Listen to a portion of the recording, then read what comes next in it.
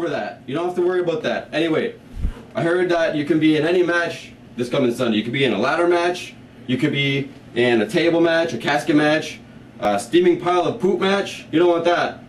So I want you to know that if you need my help, just give me a call Cell phone. and I'll be there to help you. Okay? Ok, mano. Armando, Bruno. Oh, Bruno. Okay. Bruno. I'll see you Sunday. Eh. Rosso grato. Ero fisso! Yukaki kupupu! Shu shu shu! Mi! Dorado dura trisa! Well, I certainly do agree with you that yes, power comes in numbers and it's great when friends stick together. But where did he get that faggy hat? Professore Foto Walmart siete 50% brutto! Kisho! Mano paisa! I don't understand. I shop at Walmart regularly. I've never seen that hat. Jack-o'-lantern on a pole match. What I do know is that someone's gonna get a damn pumpkin smashed over their head, aren't they? That is the rule of the match. You see the pumpkin up there on the pole. As soon as you grab that, you need to hit your opponent with it. And here comes a man that strikes fear in all of us.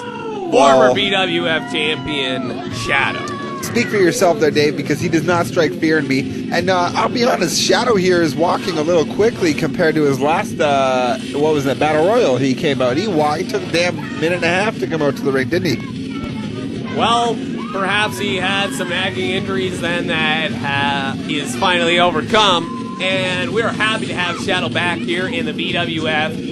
And this should be an interesting match against uh, a legend, so to speak, No, he's not a legend. Santana. No, he's not a legend. He's a newcomer. It's his first year. That's untrue, JT. I just told you he's a former BWF champion. Rico Santana? No, not Rico Santana, Shadow. Who's Shadow? The guy in the ring wearing all black with All right, the old shut up for a second, mask. Dave. Why does Shadow look so damn huge? Every time he comes out, he's so damn skinny and he's got that stupid mask on. Right now, he looks like friggin' Brock Lesnar wearing a friggin' black leotard suit. Looks like the Scream guy played by Brock Lesnar. Well, he's just, I guess he's just bulked up a little bit for this match. Oh, but look at that. From the outside, Guns is able to swipe Shadow's feet from underneath him, and Rico early on has taken control of Shadow with a huge face plant to the mat. Hey, do you think that he wears no shirt just to kind of like creep out his opponents? I mean, I personally wouldn't want to like hug up against a guy with no shirt, you know? Well, when you're in the ring fighting it out, you don't really want to hug JT. You want to fight, and it's exactly what Rico is bringing to Shadow. Is that the pumpkin from the pole? That is not the pumpkin from the pole. The pumpkin is on the pole that you need to grab. If the, if Shadow or Rico, for that matter, goes through this pumpkin, it will not count as the victory. But it will definitely. Oh, the pumpkin did not break. That's when it hurts the most. My God. Well, I mean, who even cares about the one on the pole if he's got one in the ring already? You know, like it's a, a pumpkin is a pumpkin, right? And that is true, but the rules state that you have to grab the pumpkin off of the pole in order to win.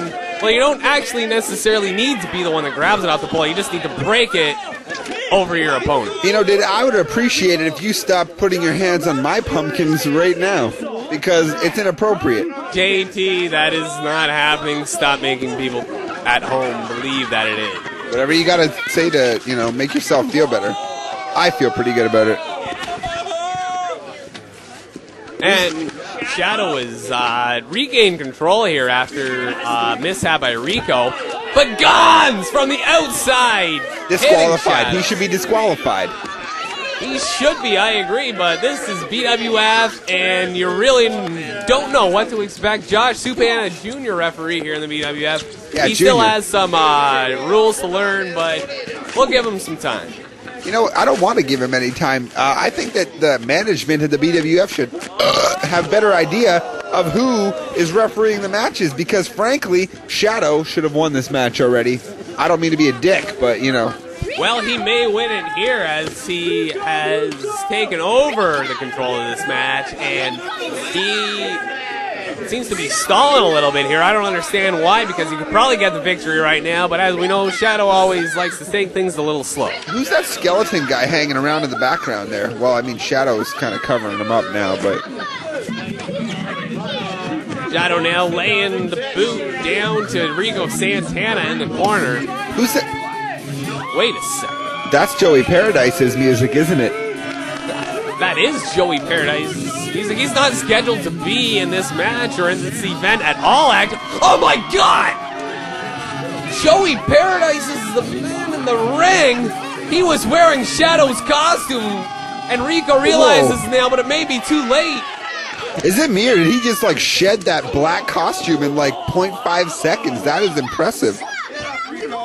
Joey Paradise, former BWF American champion, is here in the BWF, and he, we all thought he was Shadow, but I didn't. I knew it was him to begin with. I just didn't say anything because I didn't want to ruin the surprise.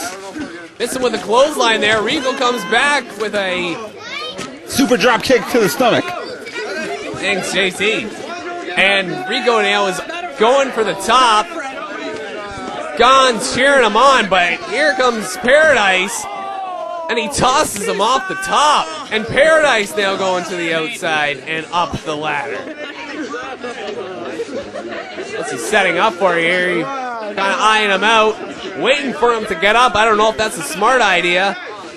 It's a very smart idea. If you ask me, in my professional opinion.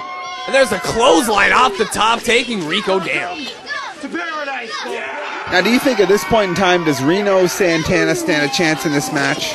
After that low blow, I would say he does because he has taken Suplex. over Joey Suplex. Paradise Here now, setting up for a suplex. Yeah, he drops him over the rope. His Danielson headband came off there.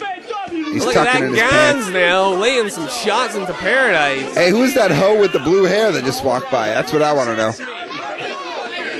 Rico now on the top.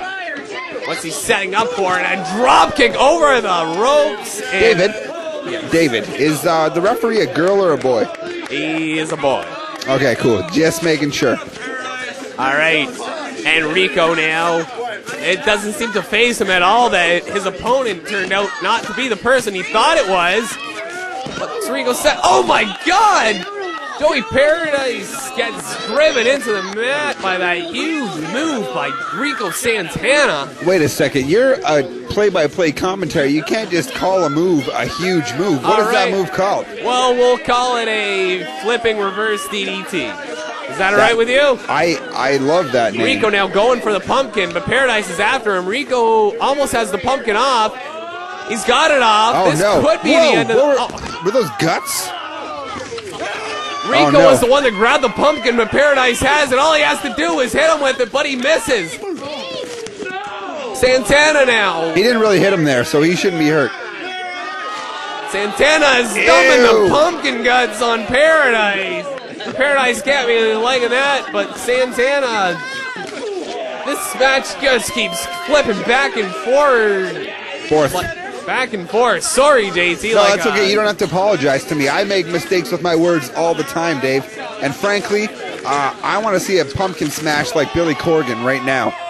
Oh my god, and there was a modified version of the Simone drop. It was a huge whiplash like maneuver. David, David, this is not Whiplash. This is Extreme Halloween. And we are going to see a pumpkin smash. Uh, It's broken. The match is over, frankly. Paradise is setting Rico up now. This could be the end of the match. Rico coming in with a kick, but he misses, and Paradise has the pumpkin on the head of the DDT with the pumpkin. Oh my god. Oh, Jesus Murphy. Oh.